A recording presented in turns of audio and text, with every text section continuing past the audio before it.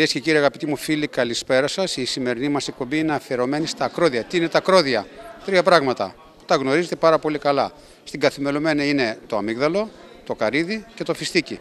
Ελπίζω ο κύριος Ξενοφών Παρασκευόπουλος να συμφωνήσει σε αυτό Κύριε, ε, κύριε Παρασκευόπουλε, η σημερινή ημερίδα δίνει τη δυνατότητα στον αγροτικό κόσμο να παρακολουθήσει εκλεκτούς προσκεκλημένους σας, καθηγητές πανεπιστημίου, οι οποίοι ο καθένας από τη δική του πλευρά θα αναλύσει και θα μιλήσει για αυτό που λέμε ακρόδια. Ή μάλλον ο αγρότης λέει αμύγδαλο, καστανιά, ε, καριδιά και φιστικιά.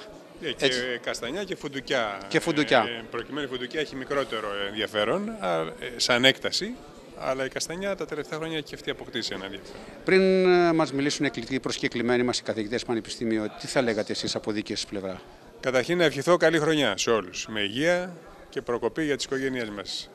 Είναι μια χρονιά που ξεκινάει πάλι για μας και για όλους μας. Ε, η εταιρεία μας, όπως γνωρίζετε και από προηγούμενες εκδηλώσεις που μας έχετε καλύψει και ευχαριστούμε που μας φιλοξενείτε στην εκπομπή σας, φροντίζει όχι μόνο να προωθεί τα προϊόντα της, τα οποία θεωρούμε εμείς το κάνουμε επιτυχία, αλλά αναλαμβάνει και πρωτοβουλίες τέτοιες που να ενδιαφέρουν τους αγρότες και τους επαγγελματίες του χώρου, ανεξάρτητα από τη δική μας πρόθεση των προϊόντων. Φυσικά προσπαθούμε να προσαρμόζουμε την γάμα των προϊόντων μας και να την εξελίσσουμε. Αλλά μας ενδιαφέρει πάρα πολύ και έχουμε βρει χρήσιμο και στη σχέση με τους συνεργάτες μας, αλλά και με μια ιδιωτελή προσφορά, να προσφέρουμε γνώση η οποία είναι χρήσιμη σε κάθε στιγμή. Εν προκειμένου σήμερα η εκδήλωση την οποία έχουμε αφορά τα ακρόδρια, δηλαδή τις καλλιέργειες πρωτίστως όπως είπατε της αμυγδαλιάς και της φυστικιάς που είναι η πιο αναπτυσσόμενη, αλλά και η καρυδιά η οποία αναπτύσσεται τα τελευταία χρόνια και δευτερευόντως θα λέγαμε η, η, η καστανιά και η φουντουκιά. Ε, είναι καλλιέργειες οι οποίες τα τελευταία χρόνια έχουν αρκετή πρόσοδο και έχουν και αρκετό ενδιαφέρον. Πάρα πολλοί λοιπόν παραγωγοί και συνεργάτες μας όμως που δεν έχουν ασχοληθεί ρωτούν τι ποικιλία να βάλω. Πώς θα κάνουν τη φυτοπροστασία. Εύλογα ερωτήματα. Εύλογα ερωτήματα. Δεν υπάρχουν πληροφορίες συγκεντρωμένες, δεν υπάρχουν επαρκείς μελέτες όπως για παράδειγμα για τη μιλιά, για την καρπόκαψα της μιλιάς ή άλλα. Σκεφτήκαμε λοιπόν ότι επειδή δεχόμαστε πολλά ερωτήματα, θα ήταν μια χρήσιμη πρωτοβουλία και πιστεύουμε ότι θα είναι μια χρήσιμη πρωτοβουλία και βλέπουμε την προσέλευση του κόσμου η προσέλευση που αναμένουμε φαίνεται πως είναι παρά τον κακό καιρό που είχαμε σήμερα είναι, είναι σημαντική, και, μεγάλη. Η αίθουσα εδώ χωράει 300 άτομα και από ό,τι βλέπουμε θα έχουμε και ορθίους. Ε, σκεφτήκαμε λοιπόν να προσκαλέσουμε διακεκριμένους ανθρώπους του κλάδου που να μας αναπτύξουν τα κύρια σημεία στον κάθε τομέα της καλλιέργειας. Παράλληλα, και εμείς, σαν εταιρεία, τα τελευταία δύο χρόνια που έχουμε αντιληφθεί αυτή την τάση, έχουμε ψάξει μέσα στην κάμα των προϊόντων μας τα κατάλληλα προϊόντα για τη φυτοπροστασία. Έχουμε φροντίσει, έχουμε υποβάλει τις κατάλληλες μελέτες και επεκτείναμε τις εγκρίσεις μας. Ενώ ταυτόχρονα ψάχνουμε και για την ιδανική τοποθέτηση μέσα στα πλαίσια μιας ολοκληρωμένης καταπολέμησης, προκειμένου να δώσουμε τις βέλτιστες λύσεις, χρησιμοποιώντας φυσικά την επιστημονική έρευνα που φτάνει σε εμάς από τους φορείς. Οι καθηγητές θα μας δώσουν την όλη διάσταση, οι αγρότες θα ακούσουν με πολύ προσοχή. Σίγουρα είναι σημαντικά τα πράγματα τα οποία θα ακούσουμε στη συνέχεια. Και βέβαια θα ήθελα να ρωτήσω τον αγαπητό τον Κώστα, ο οποίος σαν Θεσσαλός γνωρίζει πάρα πολύ καλά τον χώρο, τον τόπο.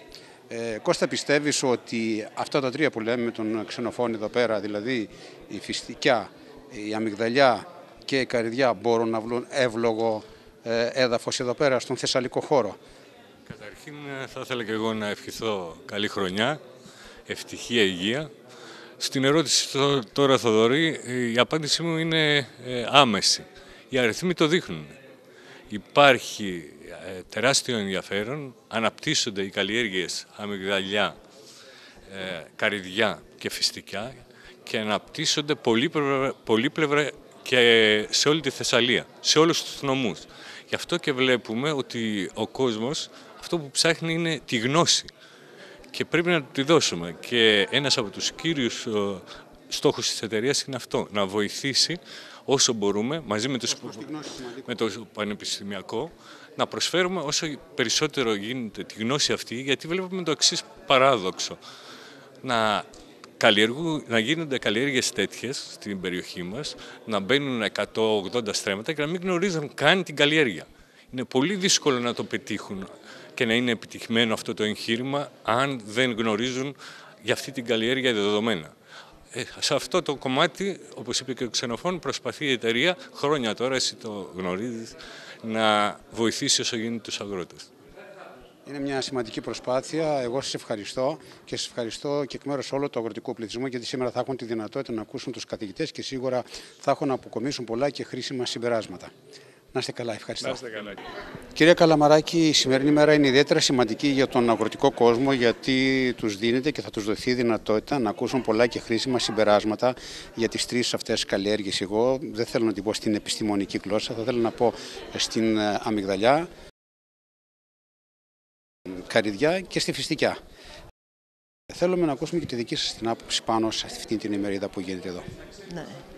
Ε, εμείς ε, ως εταιρεία Αλφα Γεωρικά Εφόδια θεωρούμε ότι ε, είναι υποχρέωσή μας να ακολουθούμε ε, την ανάπτυξη την, ε, την ανάπτυξη των καλλιεργειών των ακροδρίων στην περιοχή προσφέροντας στους παραγωγούς νέα σκευάσματα ώστε να αντιμετωπίζουν αποτελεσματικά τα θέματα φυτοπροστασίας που τους απασχολούν με υπευθυνότητα όπως κάνουμε πάντα, τοποθετώντας τα ε, στη, σωστή, ε, ε, στη σωστή διάσταση ώστε να χρησιμοποιούνται ορθολογικά, δίνοντας τις σωστές οδηγίες και στο πλαίσιο αυτό και σε αυτό το σκεπτικό ε, οργανώσαμε τη σημερινή ημερίδα όπου προσκαλέσαμε ε, έγκριτους επιστήμονες τόσο στον τομέα της φυτοπροστασίας όσο και από τη δεδροκομική πλευρά ώστε να δώσουμε ε, χρήσιμες και σωστές πληροφορίες στους παραγωγούς. Σχετικά ε, τόσο με την ε, διαχείριση των ασθενειών και των εχθρών στις καλλιέργειες αυτές, όσο και στην ε, διαχείριση των δεδροκομικών προβλημάτων που τους απασχολούν. Σας ευχαριστώ πάρα πολύ. Δεν θα σας κρατήσω περισσότερο γιατί το θέμα της φετοπροστασία είναι και πολύ μεγάλο. Πολύπλοκο δεν είναι, αλλά πάρα πολύ ενημερωτικό. Θέλει το χρόνο ώστε οι αγρότες να ακούσουν πολλά και με λεπτομέρειες. Σας ευχαριστώ πολύ. Να είστε καλά. πάρα πολύ. Ευχαριστούμε. Να είστε καλά.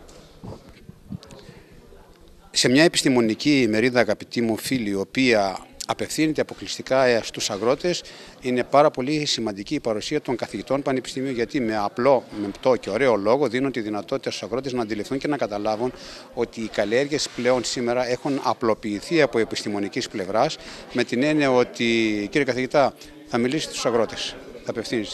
Και σίγουρα θα τους δώσει να καταλάβουν ότι οι τρεις αυτές καλλιέργειες, τα κρόδια, είναι η αμυγδαλιά, είναι η καριδιά και η φυστικιά. ναι, Μπορεί να βρει εύλογο έδαφος στον χώρο ε, τον Θεσσαλικό και σίγουρα εσείς με την δική σας συμβολή ε, θα τους βοηθήσετε να καταλάβουν και να αντιληφθούν πολλά και σημαντικά πράγματα.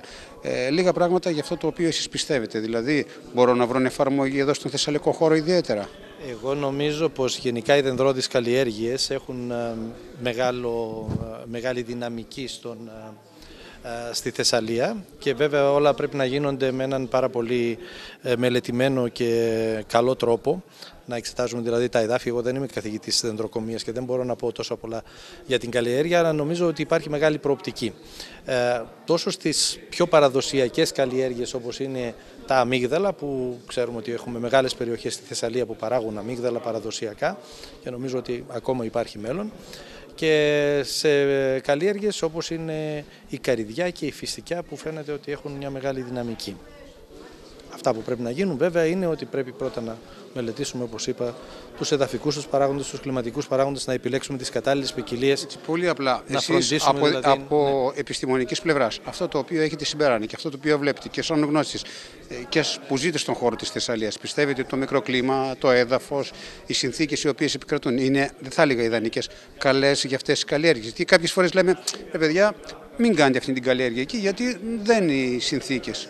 Μου έλεγε ένας φίλος εδώ στην ευρύτερη περιοχή μικρού περιβολακίου και πάνω, εγώ λέει δεν μπορώ να βάλω ηλιέ εδώ. Γιατί θα καούν με τον πρώτο παγετό.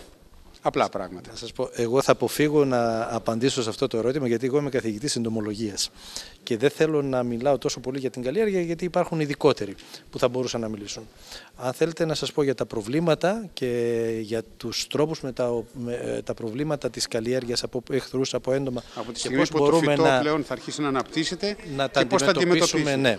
Ε, όπως ε, είπα και στην εισήγησή μου ε, υπάρχουν και τα εργαλεία και υπάρχει και η τεχνογνωσία για να μπορέσουμε να λύσουμε πολλά από αυτά τα προβλήματα. Τώρα, για παράδειγμα, στην καλλιέργεια της αμυγδαλιάς έχουμε ένα βασικό πρόβλημα που είναι το ευρύτομο της αμυγδαλιάς. Από πάντα ήταν. Αυτό ήταν, ήταν πάντα. Υπάρχουν στην καλλιέργεια τώρα της φυστικιάς επίσης. Έχουμε άλλο ένα ευρύτομο. Και, έχουμε και, κάτι. Το ευρύτομο ήταν ο φόβος και ο τρόμος. Εγώ θυμάμαι ακόμη από την περίοδο που νεαρός, 74-75, ε, όταν άκουγα τον πατέρα μου, γιατί είχαμε εκδηλώσει και έλεγε ευρύτομο, ευρύτομο πάντα. Αυτό που θέλω εγώ να τονίσω είναι ότι αυτό που χρειάζεται είναι γνώση σε τοπικό ναι. επίπεδο. Πολλές φορές δηλαδή παίρνουμε στοιχεία από άλλες περιοχές, από άλλες χώρες και προσπαθούμε να τα μεταφράσουμε στα δικά μας, ε, στις δικές μας τις συνθήκες. Χρειάζεται να καταλάβουμε τι γίνεται στις δικές μας τις περιοχές.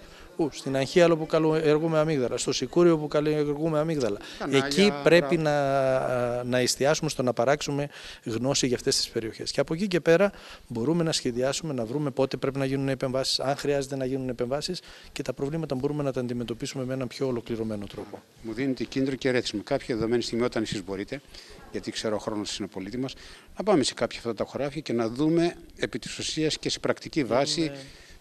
Είμαι... στη διάθεσή σας όποτε εσείς μπορέσετε μπορούμε να το σχεδιάσουμε και να πάμε. Με πολύ μεγάλη μου χαρά γιατί νομίζω ότι και εμείς θέλουμε να, να βοηθήσουμε και την παραγωγή και να μπορέσουμε να μεταφέρουμε και εμείς τη δικιά μας τη γνώση στους παραγωγούς. Έγινε. Σας ευχαριστώ πάρα πολύ. Να είστε καλά. Να είστε καλά. Αγαπητοί μου φίλοι, χαίρομαι ιδιαίτερα που για μία ακόμη φορά συναντώ τον καθηγητή Πανεπιστημίου, τον κύριο Νάνο. Μου επιτρέπει να το μιλώ στον ελληνικό και να λέω: Ο Γιώργος ο Νάνος είναι ένας άνθρωπος που στο παρελθόν έχουμε ξαναμιλήσει. Βρεθήκαμε, θυμάμαι, κάποτε στη Δράκια, όπου εκεί μου μίλησε για την ελιά. Έχουμε βρεθεί και άλλες φορές, αγαπητοί Γιώργο, χωρίς κανένα κολακίας ακριβώς πλέον η μεγάλη σου εμπειρία που έχεις αποκομίσει όλα αυτά τα χρόνια σου δίνει τη δυνατότητα να λες: Παιδιά, εκεί προχωρήστε. Σας το επιβεβαιώνω. Τι θέλω να πω, θέλω να πω το εξής. Σήμερα γίνεται ένα σημαντικό συνέδριο που θα έχεις τη δυνατότητα να μιλήσεις στους ε, αγρότες και ιδιαίτερα στους αγρότες οι οποίοι θέλουν ή καλλιεργούν ή θα θέλουν να καλλιεργήσουν τα κρόδια. Α χρησιμοποιήσουμε αυτόν τον όρο, τον επιστημονικό. Ναι. Δεν θέλω να μπούμε σε επιστημονικό λεγόμενα. Απλά μέσα από τη μεγάλη εμπειρία την οποία έχεις πιστεύεις ότι ο χώρος εδώ της Θεσσαλίας που τον ξέρεις πάρα πολύ καλά στο παρελθόν υπήρξαν οι καλλιέργειες της ε, αμυγδαλιάς. Σήμερα, με τα σημερινά δεδομένα, με τις κλιματολογικές συνθήκες οι οποίες υπάρχουν, ελαφρώς τροποποιημένες ή όχι, πιστεύεις ακόμη έχουν τη δυνατότητα οι Θεσσαλίδων να καλλιεργήσουν αυτές τις τρεις καλλιέργειες, οι οποίες είναι το αμύγδαλο, το καρύδι και το, το φιστίκι. Όσον αφορά το αμύγδαλο και το φιστίκι, δεν υπάρχει θέμα. Είναι δεδομένο ότι μπορούν να καλλιεργηθούν πάρα πολύ καλά. Ε, και το αμύγδαλο και το φιστίκι θέλει έτσι ξεροθερμικές συνθήκες, ιδιαίτερα την άνοιξη και το καλοκαίρι, επομένως είναι ό,τι πρέπει. Επίσης δεν έχουν πολύ μεγάλες ανάγκες σε νερό. Ε, και εμείς δεν έχουμε νερό στη Θεσσαλία. Απ' την άλλη μεριά το καρύδι θέλει πάρα πολύ νερό και έχει προβλήματα με τις υψηλές θερμοκρασίες. Επομένως ο κάμπος για μένα αντεδείκνυται. Έχουμε τρόπους να μειώνουμε τα προβλήματά της, αλλά πάλι η καρδιά θέλει πάρα πολύ νερό. Σε κάποιες περιοχές που έχουμε αρκετό νερό, έτσι, καρδίτσα, τρίκαλα και τέτοια, μπορεί να φυτευτεί. Έχουμε επίσης πολύ καλά αποτελέσματα γιατί η καρδιά είναι πάρα πολύ πιο ευαίσθητη στους παγετούς από ό,τι είναι τα άλλα δέντρα. Ε, αλλά παρότι στην Καλιφόρνια μείον 14, μείον 15 βαθμούς παγώνουν τα δέντρα της καρδιάς, σε εμάς και με μείον 20 δεν πάθανε μεγάλες ζημιές. Ε, Προφανώς είναι γιατί είναι πιο κρύο το κλίμα και το φθινόπωρο σε εμάς και πέφτουν έτσι πιο σταδιακά οι θερμοκρασίες. Αλλά το νερό είναι ένα θέμα. Η υγρασία επίσης την άνοιξη σε όλα τα δέντρα έχει πρόβλημα. Όπου έχουμε υγρασία την άνοιξη στον αέρα και για τα τρία τα είδη έχουμε πολλά προβλήματα ασθενειών κατά κύριο λόγο. Μετά το έδαφος. Το έδαφος δυστυχώς στα μέρη που είναι πολύ αργυλώδες που λέμε, βαρύ δηλαδή που λέμε, κολλάει στα παπούτσια, πολύ, δεν κάνει για δέντρα. Α πούμε η Κάρλα ή τα κανάλια που έχουν Όπου... πετρόδες. Ε, πετρό... Κανένα πρόβλημα με το πετρόδες. Κανένα πρόβλημα με το πετρόδες. Κανένα πρόβλημα με τα αμμόδια εδάφη που δεν λερώνουν τα παπούτσια μας πολύ. Ε, η άργυλος είναι για άλλες καλλιέργειες. Πολύ μεγαλύτερες παραγωγές, σε λαχανικά, σε κάποια άλλα φυτά. Για άλλα πράγματα. Τα δέντρα ταλαιπωρούνται. Και εκεί με σωστή διαχείριση, βάροντας σε ένα σαμάρι, ποτίζοντας υπόγεια, μπορούμε να κάνουμε αρκετά καλές δουλειές αυτό. Ένα ερώτημα το οποίο είναι κρίσιμο με την έννοια, εσείς βέβαια δεν είστε ούτε παραγωγός, ούτε πολιτής, ούτε διακίνητης, ούτε τίποτα. Πιστεύετε... Παραγωγός είμαι, αλλά δεν είμαι παραγωγός. Ναι. παραγωγός. Όχι, θέλω να το εξή. Πιστεύετε ότι αυτό θα είναι ένα κίνητρο το οικονομικό κομμάτι, δηλαδή να πει ένας ε, παραγωγός, ναι, ρε παιδιά, θα μου δώσει προστιθέμενη αξία, μπορεί να ταλαιπωρηθώ, μπορεί να κοραστώ, αλλά θα απολαύσω κάποια καλή από τις άλλες καλλιέργειες. Γιατί είναι καλλιέργεια που σε θέλει δυνατά. Δεν το συζητάμε. Υπάρχει ένα θέμα. Δηλαδή από αυτά τα δέντρα, τους ξερούς καρπούς, μπορείς να βγάλεις πολύ περισσότερες φορές χρήματα αναστρέμα. Αρκεί να το από τις άλλες καλλιέργειες. Αλλά υπάρχει ένα θέμα, υπάρχει έλλειψη γνώσης, πράγματι από το πολλαπλασιαστικό υλικό που είναι η βάση και δυστυχώς έχουν γίνει φοβερές καταστάσεις, φοβερές καταστάσεις, ιδιαίτερα με την καρδιά και γίνεται και χαμός με την αμυγδαλιά αυτή τη στιγμή με όλες τις ποικιλίες καινούργιες και οι γεωπόνοι δυστυχώς δεν ήταν προετοιμασμένοι, δεν υπήρχε γνώση αρκετή να φανταστείτε Στο παρελθόν δηλαδή, δηλαδή. από τα προηγούμενα χρόνια, από τις σπουδές και τα λοιπά, που να μάθουμε πολλά για το καρύδι, για το αμύγδαλο και τα λοιπά. Επειδή στο πρόσφατο, όχι μακρύ παρελθόν, είχαν ξεκινήσει 15 χρόνια πριν και βγάζαν τα αμύγδαλα κατά κόρον, πιστεύεις ότι ήταν το, απλά το οικονομικό κομμάτι ή ήταν και η μη σωστή αντιμετώπιση επιστημονική, ώστε γιατί πολλά δέντρα άρχισαν να ξεραίνονται, κάποια να παλιώνουν. Εφόσον ήταν ξερικές οι αμυγδαλιές, πολλές εδώ στο Ριζόμιλο, Στεφανοβέκιο, πάρα πολλά τέτοια. Και ευρύτερη περιοχή, μικρό περιβολακείο που είχε πάρα πολλά. το περιβάλλον, σταματούσαν οι πολλές βροχές. Δεν έβρεχε πια τόσο πολύ όσο έβρεχε πιο παλιά. Προφανώς αυτά τα δέντρα ταλαιπωρούνταν όλο και περισσότερο. Όταν είναι ένα ταλαιπωρημένο η παραγωγή, δέντρο, η τιμή. αναπτύσσονται περισσότερα έντομα, αναπτύσσονται πιο εύκολα οι ασθένειες. Και είχαμε απ' την άλλη το βαμβάκι που έπιανε κάποιες τιμές που είχαν την επιδότηση και τα λοιπά και λέγανε τι τα κάνουν αυτά τα δέντρα. Κάθε δεύτερη χρονιά καρπίζουν ή καρπίζουν πολύ λίγο πια. Έτσι ήταν, ναι. Όταν είναι αρδευόμενη και λιπινόμενη όμως η αμυγδαλιά και πάει καλά η καρπόδεσή της, έχεις τους επικονιαστές σου, είναι, δεν έχει παγετού στην περιοχή σου κτλ.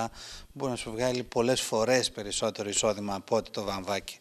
Ε, βλέπω μια τάση, γιατί πηγαίνοντας στην παλιά εθνική από το Βόλο προς τη Λάρισα, ιδιαίτερη περιοχή, ε, Πλατήκαμπο, Γλάφκι, εκείνες οι περιοχές, γίνεται, υπάρχει, α χρησιμοποιήσουμε μια έξαρση. Χαμός. Ε, εκεί πιστεύεις ότι παρόλο που είναι κάμπο, γιατί δεν είχαμε συνδέσει είναι, ποτέ την αμυγδαλιά κάμπος, με το έχει πολλές υγρασίες, περισσότερο φυστικά όμως βάζουν και περισσότερο στα χωράφια που δεν έχουν πολύ νερό. Και αυτό είναι καλό. Άρα, ο κάμπο, είναι, ο είναι καλό, δεν είναι μόνο για ε, τα... Κινδυνεύουν από ανεξιάτικου παγετούς στην αμυγδαλιά. Ε, γιατί ανοιχτό μαγαζί. νωρίς. Ε, δεν έχουμε άλλα προβλήματα. Μόνο αυτό που υπόθηκε είναι πολλές οι ασθένειες εδάφους μετά τα βαμβάκια, μετά τις ντομάτες, μετά τα καρπούζια, οι οποίες βλάπτουν τα καινούργια δέντρα πολύ. Με λίγη προσπάθεια, με λίγη επιστημονική γνώση, με λίγη βοήθεια από το ε, ναι, Πανεπιστήμιο από ναι. εσάς, θα ξεπεραστούν κάποια προβλήματα. Εύκολα. Δεν θέλω να σε κρατήσω άλλο, θέλω να σε ευχαριστήσω γιατί στη συνέχεια της εκπομπής μας, αγαπητοί μου φίλοι, θα ξανακούσουμε τον κύριο Νάνο και τους άλλους επιστήμονες, μικρά αποσπάσματα, οι οποίοι εδώ, εκεί μάλλον θα δούμε την επιστημονική διάσταση. Να σε καλά, σε ευχαριστώ, πάρα πολύ. πολύ. Και εγώ. Να είσαι καλά. Τα μεγαλύτερα προβλήματα που έχουμε στην Αμυγδαλιά, σε πάρα πολλές ε, περιοχές, ε, είναι μια ασθένεια όχι μόνο της αμυγδαλιάς, πολύ συχνή σε πάρα πολλά οποροφόρα, είναι μεγάλο πρόβλημα στη ροδακινιά, όπως και σε άλλα επίσης πυρηνότροπα, αλλά και αμυλοειδή. Και για την αμυγδαλιά αποτελεί πρόβλημα από τον 4ο, 5ο χρόνο και μετά. Ε, το πρόβλημα που έχουμε στην αμυγδαλιά είναι πολύ έντονο εξαιτίας ε, του γεγονός ότι ανθίζει ε, πολύ νωρίς, με αποτέλεσμα οι χαμηλές αυτές θερμοκρασίες να συμβάλλουν σημαντικά στην ανάπτυξη της ασθένειας και ιδιαίτερα όταν έχουμε επιμήκυνση της διάρκειας της άνθησης, το χρονικό διάστημα που τα δέντρα είναι ευπαθής μονήσεις είναι πάρα πολύ μεγάλο. Ε, τα κλασικά συμπτώματα που έχουμε στην, ε, στη μονήλια είναι αυτές οι ξηράνσεις των ανθέων. Α, στα αρχικά στάδια τις βλέπετε εδώ και εδώ όσο προχωράει ε, η μόλυνση που αποξηραίνονται και παραμένουν κολλημένα επάνω ουσιαστικά στους, ε, στους κλάδους. Και το άλλο σύμπτωμα α, που δημιουργεί επίσης πολλά προβλήματα και οδηγεί στις ξηράνσεις των κλάδων πλέον είναι το έλκο.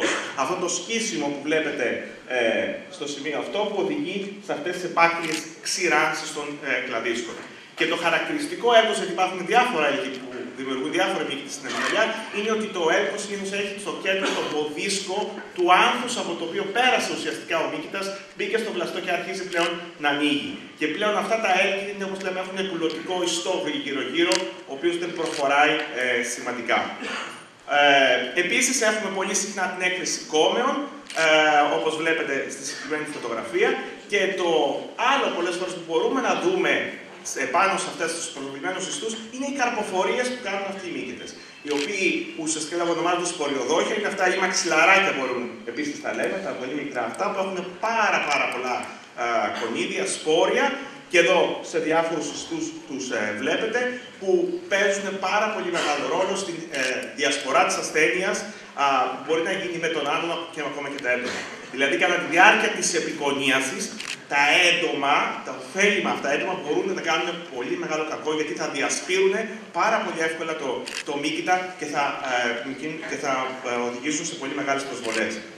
Ε, στον καρπό επίσης αναπτύσσεται μια επιφανειακή κυκλική καστανή κοιλίδα που διευρύνεται και εξελίσσεται σε αυτή τη σύμψη, την υγρή που βλέπετε εδώ πέρα επάνω και εδώ πάνω έχουμε επίσης ε, πάνω στον καρπό την ε, εξάνθηση ε, που θα οδηγήσει τελικά στη μουμιοποίηση όπως λέμε των καρπών, όπως σας είπε προηγουμένως και ο κ. Παπαδόπουλος, που από αυτές τις μούμιες ουσιαστικά ξεκινάνε και οι, πολλές φορές οι μολύνσεις κατά τον επόμενο χρόνο. Ε, σε όλες αυτές τις ασθένειε που θα σας περιγράψω, το κλειδί είναι η πρόληψη. Θεραπεία είναι πάρα πολύ δύσκολε ε, σε, αυτές τις, σχεδόν σε όλες αυτές τις ασθένειε. Και θα λέω ολοκληρωμένη διαχείριση, γιατί θα πρέπει να πάρουμε όχι μόνο τη θετική αντιμετώπιση, θα πρέπει να ξεκινήσουμε νωρίτερα με καλλιεργητικά μέτρα και κυρίως με να μειώσουμε το μόλισμα και να καταστρέψουμε τις αστείε διαχείμανση. Αυτό μπορεί να είναι αρκετά επίπονο, αλλά να ξέρετε θα σας λύσει πάρα πάρα πολλά προβλήματα.